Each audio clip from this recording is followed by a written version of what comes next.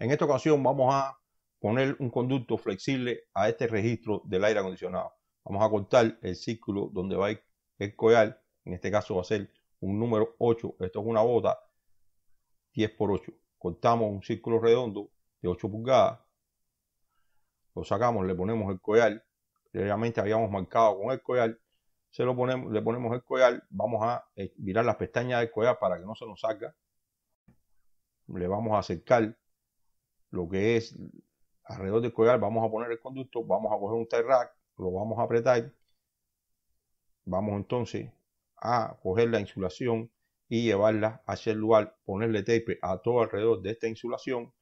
Para de esta forma tenemos puesto un conducto en su registro. Si les gustan estos videos, por favor suscríbete al canal, activa las notificaciones y visítanos en el canal.